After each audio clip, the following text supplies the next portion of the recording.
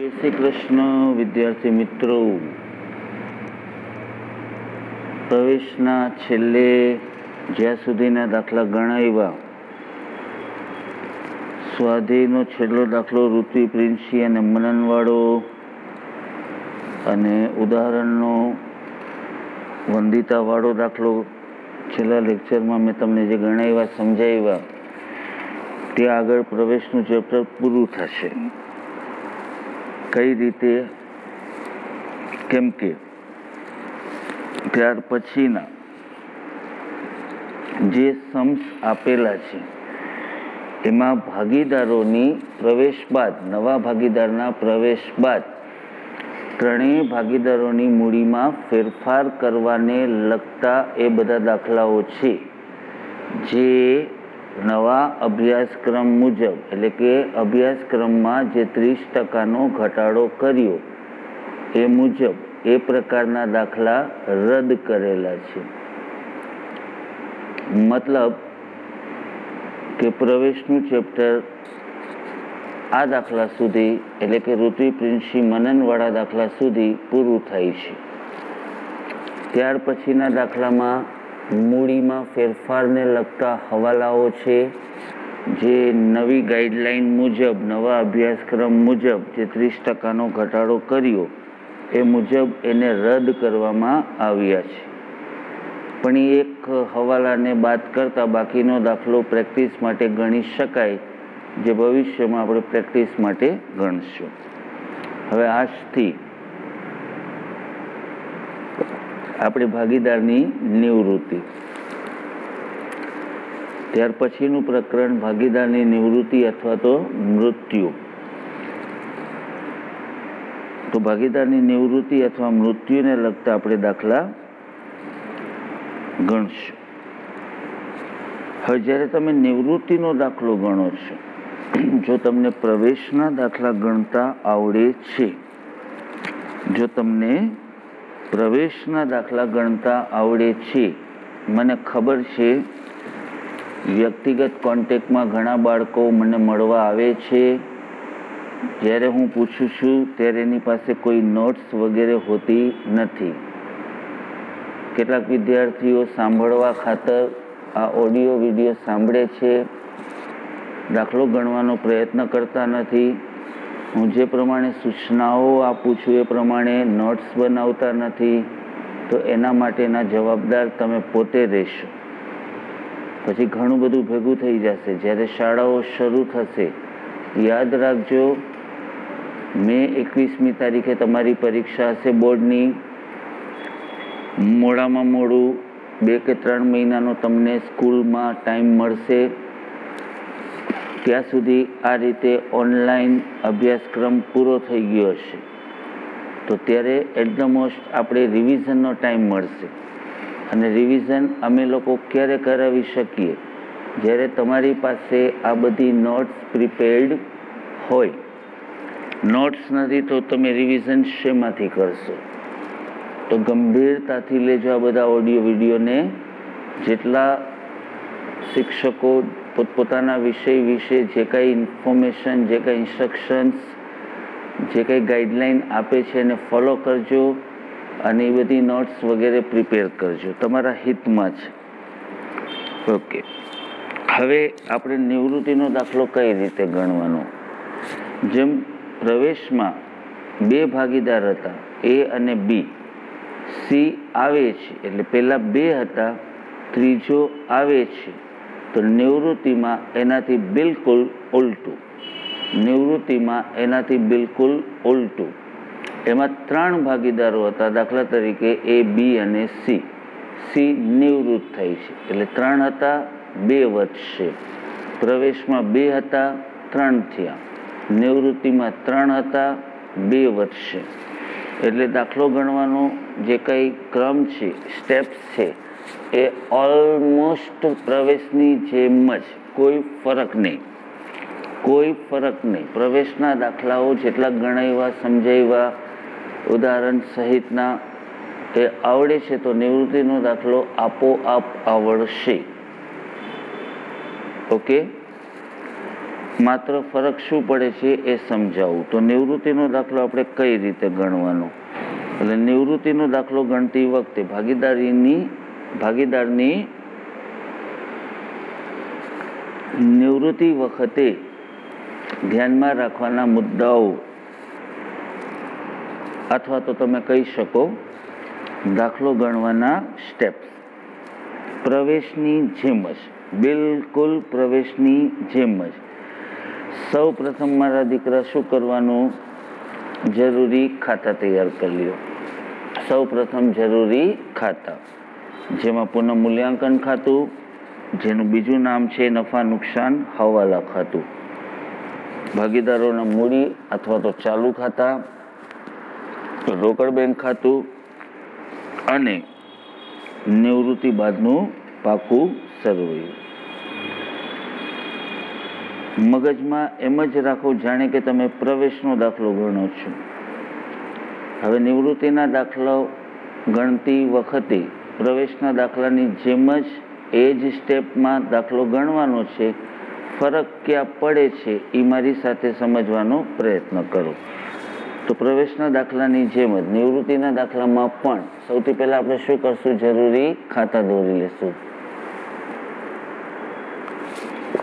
જરૂરી ખાતામાં કયા કયા ખાતા આવશે? પુનઃ મૂલ્યાંકન ખાતું અથવા તો નફા નુકસાન હવાલા ખાતું. ભાગીદારોના મૂડી અથવા ચાલુ ખાતા. રોકડ બેંક ખાતું અને નિવૃત્તિ બાદનું નિવૃત્તિ બાદનું નવી પેઢીનું પાકું સરવાયું જાણે કે તમે ખાતા દોરી લીધા.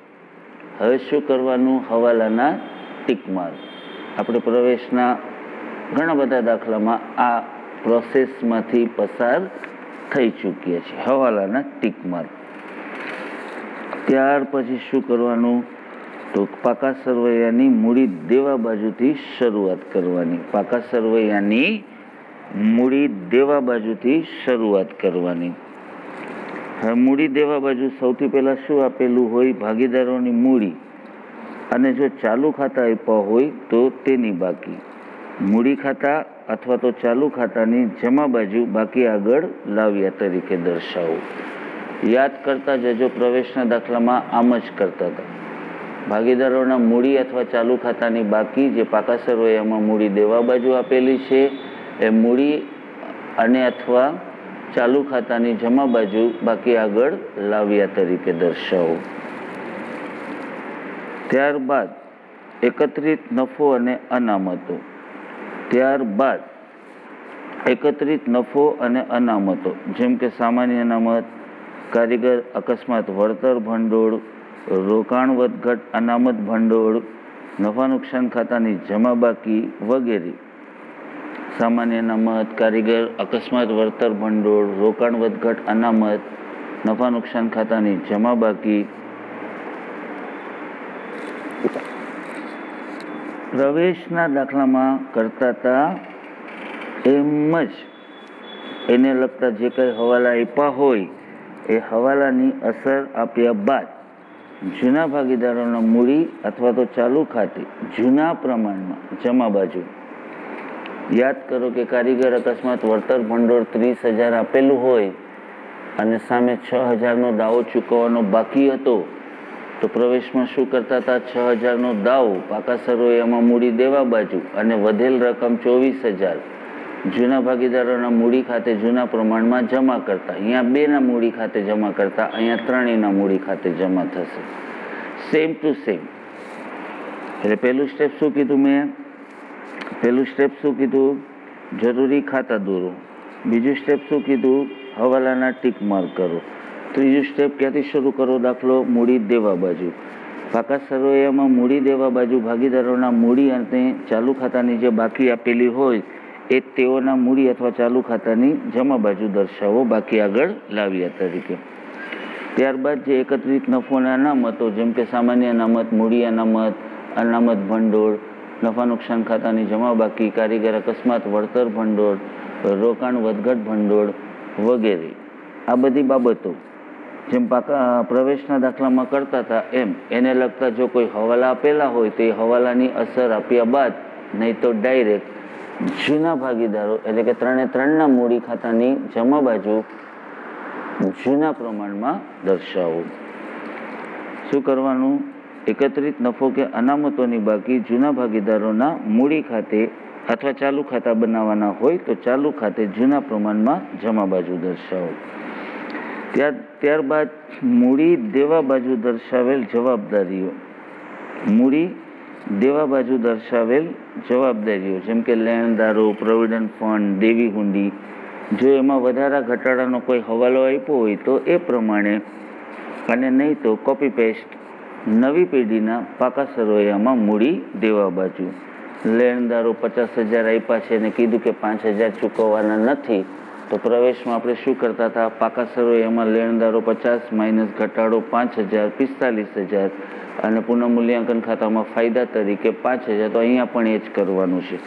ઇન શોર્ટ મૂડી દેવા બાજુ દર્શાવેલ જવાબદારીઓ જેવી કે લેણદારો, દેવી હુંડી બેંક ઓવરડ્રાફ્ટ પ્રોવિડન્ટ ફંડ જો હવાલો આપેલો છે, તેની અસર આપ્યા બાદ નહીં તો ડાયરેક્ટ કોપી પેસ્ટ નવી પેઢીના પાકા સરવૈયામાં મૂડી દેવા બાજુ દર્શાવો. આટલું પતી જાય. એટલે હવે તમારે પાકા સરવૈયાની રકમમાં આપેલ રકમમાં આપેલ પાકા સરવૈયાની મિલકત લેણા બાજુ. હવે રકમના પાકા સરવૈયામાં દર્શાવેલ પાઘડી જેમ પ્રવેશમાં કરતા હતા. રકમના પાકા સરવૈયામાં દર્શાવેલ પાઘડી જૂના ભાગીદારોના મૂડી અથવા ચાલુ ખાતાની ઉધાર બાજુ જૂના પ્રમાણમાં દર્શાવો એટલે કે માંડીવાળો. રકમના પાકા સરવૈયામાં દર્શાવેલ મિલકત લેણા બાજુ રકમના પાકા સરવૈયામાં દર્શાવેલ પાઘડી જૂના ભાગીદારો પ્રવેશમાં બેના મૂડી ખાતે, અહીંયા ત્રણેયના મૂડી ખાતે કયા પ્રમાણમાં? જૂના પ્રમાણમાં ઉધારી અને માંડીવાળો. ફરીથી, રકમના પાકા સર્વેમાં દર્શાવેલ પાઘડી જૂના ભાગીદારોના મૂડી અથવા ચાલુ ખાતાની ઉધાર બાજુ. કયા પ્રમાણમાં? જૂના પ્રમાણમાં. બરાબર? માંડીવાળો. પછી જે મિલકતો આપેલી હોય, જમીન, મકાન, યંત્રો, ફર્નિચર સ્ટોક દેવાદારો તો મિલકતો એમાં જે કંઈ હવાલા આપેલા હોય, જેમ કે જમીન મકાનની કિંમતમાં વધારો કરો, યંત્રોની કિંમતમાં ઘટાડો કરો, સ્ટોકમાં આટલો ઘટાડો કરો, દેવાદારો પર આટલી ઘાલખાત અનામત રાખવાની, આટલી ઘાલખાત માંડી વાળો, તો આવા બધા જે કંઈ હવાલા આપેલા હોય, જો જો આપેલા હોય તો તો મિલકતો હવાલાની જરૂરી અસર આપ્યા બાદ મિલકતોની કિંમતમાં વધારો થાય તો પુનઃમૂલ્યાંકન ખાતે જમા કરો. મિલકતોની કિંમતમાં ઘટાડો થાય તો પુનઃમૂલ્યાંકન ખાતે ઉધાર કરો. અને મિલકતો નવી કિંમતે વધારા ઘટાડાની અસર આપ્યા બાદ નવી કિંમતે નવી પેઢીના પાકા સર્વેમાં મિલકત લેણા બાજુ દર્શાવો. આ પ્રવેશમાં કરતા હતા એમ જ. ત્યારબાદ મા દીકરા રકમના પાકા સર્વેમાં દર્શાવેલ રોકડ બેંક. રકમના પાકા સર્વેમાં દર્શાવેલ રોકડ બેંક. જેમ આપણે પ્રવેશના દાખલામાં રોકડ બેંક ખાતું દોરતા હતા, એમ અહીંયા પણ રોકડ બેંક ખાતું બનાવવાનું અને રકમના પાકા સરવૈયામાં જે રોકડ બેંક આપેલી છે, એ રોકડ બેંક ખાતામાં ઉધાર બાજુ બાકી આગળ લાવ્યા તરીકે દર્શાવવું ત્યારબાદ રકમના પાકા સરવૈયામાં એકત્રિત ખોટ કે નુકસાન, એકત્રિત ખોટ કે નુકસાન, જેમ કે નફા નુકસાન ખાતું મિલકત લેણા બાજુ આપેલું હોય, નફા નુકસાન ખાતું મિલકત લેણા બાજુ આપેલું હોય તેને ઉધાર બાકી કહેવાય. એકત્રિત ખોટ કહેવાય. નફા નુકસાન ખાતાની ઉધાર બાકી જાહેરાત ઝુંબેશ ખર્ચ, સંશોધન વિકાસ ખર્ચ, આવી આવી બાકીઓ તમે પ્રવેશના દાખલામાં જોઈ હશે. એવું જ નિવૃત્તિમાં આવશે. તો રકમના સોરી રકમના પાકા સર્વેમાં દર્શાવેલ એકત્રિત ખોટ જેવી કે નફા નુકસાન ખાતાની ઉધાર બાકી જાહેરાત ઝુંબેશ ખર્ચ, સંશોધન વિકાસ ખર્ચ, આવી બધી બાકીઓ જૂના ભાગીદારોના મૂડી ખાતામાં અથવા તો ચાલુ ખાતામાં ઉધાર બાજુ જૂના પ્રમાણમાં દર્શાવો. એકત્રિત ખોટની બાકી ક્યાં બતાવશો? જૂના ભાગીદારોના મૂડી અથવા ચાલુ ખાતાની ઉધાર બાજુ જૂના પ્રમાણમાં. આટલું સમજાણું ઝડપથી. સૌથી પહેલાં શું કરશું? જરૂરી ખાતા તૈયાર કરશું. પુનઃ મૂલ્યાંકન ખાતું, ભાગીદારોના મૂડી ખાતા, રોકડ બેંક ખાતું અને નિવૃત્તિ બાદનું નવું પાકું સરવૈયું ત્યારબાદ શું કરશું? હવાલાની માર્ક ત્યારબાદ શું કરશું? રકમના પાકા સરવૈયાની મૂડી દેવા બાજુથી શરૂઆત કરશું. મૂડી દેવા બાજુ આપેલ ભાગીદારોના મૂડી ખાતા અથવા ચાલુ ખાતાની બાકી, તેઓના મૂડી અથવા ચાલુ ખાતાની જમા બાજુ બાકી આગળ લાવ્યા તરીકે દર્શાવશું. ત્યારબાદ શું કરશું? રકમના પાકા સરવૈયામાં એકત્રિત નફો કે અનામતો. જેમ કે નફા નુકસાન ખાતાની જમા બાકી, સામાન્ય અનામત, મૂડી અનામત અનામત ભંડોળ, કારીગર અકસ્માત, વળતર ભંડોળ, રોકાણ વધઘટ ભંડોળ વગેરે. જો એને લગતા કોઈ હવાલા જેમ પ્રવેશમાં આપતા હતા, એમ નિવૃત્તિમાં પણ આપશે. એને લગતા જો કોઈ હવાલા આપ્યા હોય તો હવાલાની અસર આપ્યા બાદ નહીં તો ડાયરેક્ટ જૂના ભાગીદારોના મૂડી અથવા ચાલુ ખાતામાં જૂના પ્રમાણમાં જમા બાજુ દર્શાવો. ત્યારબાદ મૂડી દેવા બાજુ જે કંઈ જવાબદારીઓ, જેમ કે લેણદાર, દેવી હુંડી બેંક ઓવરડ્રાફ્ટ પ્રોવિડન્ટ ફંડ જો એને એને લગતા હવાલા, એટલે વધારા ઘટાડાને લગતા કોઈ હવાલા આપ્યો હોય, તો એની પ્રવેશમાં આપતા હતા એમ. ફાયદો થાય તો પુનઃમૂલ્યાંકન ખાતે જમા, નુકસાન થાય તો પુનઃમૂલ્યાંકન ખાતે ઉધાર. અને વધારા ઘટાડા બાદની નવી કિંમત હવાલો ન આપ્યો હોય તો કોપી પેસ્ટ નવી પેઢીના પાકા સર્વેમાં મૂડી દેવા બાજુ દર્શાવો. હવે પાકા સર્વેની મિલકત લેણા બાજુ આવો. પાકા સર્વેની મિલકત લેણા બાજુ દર્શાવેલ પાઘડી. બરાબર ધ્યાન રાખજો, પ્રવેશમાં કરતા હતા એમ જ. પાકા દર્શાવે પાકા સર્વૈયામાં મિલકત લેણા બાજુ દર્શાવેલ પાઘડી. એ જૂના ભાગીદાર ફરક માત્ર એટલો, પ્રવેશમાં જૂના એટલે બે અને નવો ત્રીજો. નિવૃત્તિમાં જૂના એટલે ત્રણ, નવા એટલે બે, એક વયો ગયો એટલે ત્રણેયના મૂડી ખાતામાં ઉધાર બાજુ જૂના પ્રમાણમાં માંડીવાળો. હવે મિલકતો જેમ કે જમીન, મકાન, યંત્રો, પ્લાન્ટ, યંત્રો, સ્ટોક, દેવાદારો, ફર્નિચર વગેરેને લગતા કોઈ હવાલા આપ્યો હોય, વધારો કીધો હોય તો ફાયદો. પુનઃમૂલ્યાંકન ખાતે જમા, ઘટાડો કીધો હોય તો નુકસાન. પુનઃમૂલ્યાંકન ખાતે ઉધાર. અને એ નવી કિંમત એટલે વધારા ઘટાડા બાદની નવી કિંમત, નવી પેઢીના પાકા સરવૈયામાં મિલકત લેણા બાજુ દર્શાવો. અને માનો કે કોઈ હવાલો નથી આપ્યો તો કોપી પેસ્ટ નવી પેઢીના પાકા સરવૈયામાં મિલકત લેણા બાજુ. થોડું ડિસ્ટર્બન્સ રહેશે. બહાર કોઈ ઢોલ નગારા વાગે છે but try to listen me try to concentrate okay હવે દીકરા મેં કીધું એમ, રકમના પાકા સર્વેમાં દર્શાવેલ રોકડ બેંક. રકમના પાકા સર્વેમાં દર્શાવેલ રોકડ બેંક. રકમના પાકા સર્વેમાં દર્શાવેલ રોકડ બેંક. રોકડ બેંક ખાતામાં ઉધાર બાજુ બાકી આગળ લાવ્યા તરીકે. રકમના પાકા સર્વેમાં દર્શાવેલ પ્રવેશના ચેપ્ટરમાં કરતા હતા એમ જ રકમના પાકા સર્વેમાં દર્શાવેલ રોકડ બેંક. રોકડ બેંક ખાતામાં ઉધાર બાજુ બાકી આગળ લાવ્યા તરીકે. હવે રકમના પાકા સર્વેમાં દર્શાવેલ એકત્રિત નુકસાન કે ખોટ, જેમ કે નફા નુકસાન ખાતાની ઉધાર બાકી, જેમ કે જાહેરાત ઝુંબેશ ખર્ચ, જેમ કે સંશોધન વિકાસ ખર્ચ, એકત્રિત ખોટ. પ્રવેશમાં જૂના બે ભાગીદારોના મૂડી ખાતે જૂના પ્રમાણમાં ઉધારતા હતા. અહીંયા ત્રણેય ભાગીદારોના મૂડી અથવા ચાલુ ખાતામાં ઉધાર બાજુ જૂના પ્રમાણમાં ઉધારવાના. ક્લિયર હવે હવાલા. એટલે ઉપરના બધા હવાલા થઈ ગયા પછી, હવે જો દાખલામાં બાકીના ભાગીદારો બાકીના ભાગીદારો એટલે કોણ? માનો કે એ, બી અને સી એક પેઢીના ભાગીદારો હતા અને સી નિવૃત્ત થાય છે, તો એ અને બી બાકીના ભાગીદારો. તો જો દાખલામાં બાકીના ભાગીદારો એટલે કે સીના નિવૃત્ત થયા પછી સીના નિવૃત્ત થયા પછી એ અને બીનું એ અને બીનું એટલે કે બાકીના ભાગીદારોનું નફા નુકસાનનું નવું પ્રમાણ આપેલું હોય તો તેઓનું લાભનું પ્રમાણ શોધો. શું શોધવાનું? લાભનું પ્રમાણ. જો નવું પ્રમાણ ન આપ્યું હોય તો જૂનું પ્રમાણ એ જ લાભનું પ્રમાણ. પણ બાકીના ફરીથી એ બી અને સી એક પેઢીના ભાગીદારો હતા સી નિવૃત્ત થાય છે. તો બાકીના બે ભાગીદારો એ બી સીનું નફા નુકસાનનું પ્રમાણ ત્રણ જેમ, બે જેમ એક આપ્યું હોય. સપોઝ સી નિવૃત્ત થાય છે. ત્યારબાદ એ અને બી એક જેમ એકના પ્રમાણમાં નફો નુકસાન વેચી લે છે. ધેટ મીન્સ કે તેઓનું નફા નુકસાનનું નવું પ્રમાણ આપેલું છે. તો પ્રવેશમાં જેમ આપણે ત્યાગનું પ્રમાણ શોધતા હતા, જૂનું પ્રમાણ માઇનસ નવું પ્રમાણ, અહીંયા આગળ આપણે શું કરવાનું? લાભનું પ્રમાણ શોધવાનું. નવું પ્રમાણ માઇનસ જૂનું પ્રમાણ. ઓકે એટલે સૌથી પહેલું સ્ટેપ શું થશે? ઉપરના બધા સ્ટેપ સમજાવી દીધા. કે જો દાખલામાં બાકીના ભાગીદારો બાકીના એટલે નિવૃત્ત થતા ભાગીદાર સિવાયના બાકીના ભાગીદારોનું નફા નુકસાનનું નવું પ્રમાણ આપેલ હોય. તો બાકીના ભાગીદારોનું નફા નુકસાનનું નવું પ્રમાણ આપેલ હોય તો તેઓના લાભનું પ્રમાણ ગોતવાનું. જેમ પ્રવેશમાં ત્યાગનું પ્રમાણ શોધતા હતા અહીંયા લાભનું પ્રમાણ શોધવાનું. અને સપોઝ જો દાખલામાં નવું પ્રમાણ આપ્યું નથી તો જૂનું પ્રમાણ એ જ લાભનું પ્રમાણ ગણાય. બરાબર? પ્રવેશના દાખલાની જેમ જ. પ્રવેશના દાખલામાં આપણે પહેલાં કઈ ગણતરી કરતા? ત્યાગના પ્રમાણની. અને અહીંયા નિવૃત્તિના દાખલામાં શું ગણશું? લાભના પ્રમાણની. હવે નિવૃત્ત થતા ભાગીદારની પાઘડીની રકમ નક્કી કરો. પ્રવેશના અનેક દાખલામાં શીખી લીધું કે પેઢીની પાઘડીનું મૂલ્ય આટલું નક્કી થયું. તેના પરથી આપણે નવા ભાગીદારના ભાગની પાઘડી શોધતા હતા. એ રકમ આપણે જૂના ભાગીદારોના મૂડી ખાતે, કેમ કે એઓ ત્યાગ કરતા હતા.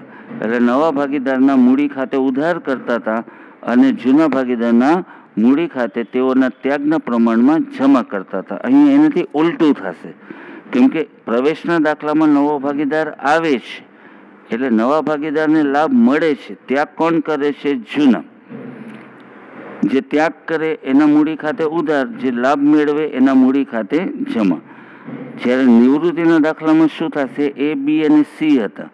સી નિવૃત્ત થાય છે, તો સી ત્યાગ કરે છે. કેમ કે એનો નફાનો ભાગ હવે એને નહીં મળે. એ કોને મળશે? બાકીના બી, એટલે એ અને બીને એટલે એ લાભ કરે છે. તો અહીંયા ઉલટું થશે. પ્રવેશની જેમ જ પેલું કામ શું કરવાનું? નિવૃત્ત થતા ભાગીદારના ભાગની પાઘડી શોધવાની. એટલે પેઢીની પાઘડી ગુણ્યા નિવૃત્ત થતા ભાગીદારનો નફા ભાગ. એ જે રકમ આવે, એ જે રકમ આવે, એ બાકીના ભાગીદારો એટલે કે એ અને બીના મૂડી અથવા ચાલુ ખાતે લાભના પ્રમાણમાં ઉધાર કરવાની અને નિવૃત્ત થતા ભાગીદારના મૂડી અથવા ચાલુ ખાતે જમા કરવાની. પ્રવેશની જેમ જ, પણ આમનો ઉલટી. ક્લિયર તો નિવૃત્ત થતા ભાગીદારની પાઘડી રકમમાં આપી હોય, અમુક દાખલામાં ગોતવાની પણ હશે, એ દાખલા સાથે સમજશું. તો નિવૃત્ત થતા ભાગીદારની પાઘડીની રકમ નક્કી કરી. આ રકમ કોને મળે? બાકીના ભાગીદારો, એટલે કે જૂના ભાગીદારો, એમના ચાલુ મૂડી મૂડી અથવા ચાલુ ખાતે એમના લાભના પ્રમાણમાં ઉધારી અને નિવૃત્ત થતા ભાગીદારના મૂડી ખાતે આપણે શું કરશું? જમા કરશું. પાઘડીનો મુદ્દો.